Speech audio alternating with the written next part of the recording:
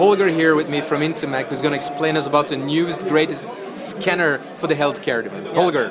We have a new um, Bluetooth scanner SG20, which is just new, with a cradle which you can see there.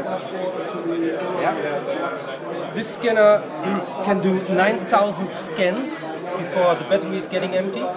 It's easy to connect, so it's just um, that you connect it via Bluetooth. There's no passkey what you need, so you can just connect it, search for it, and then it's connected, and you can just scan this small barcode, as you can see, very easily. It's going directly to the iPad.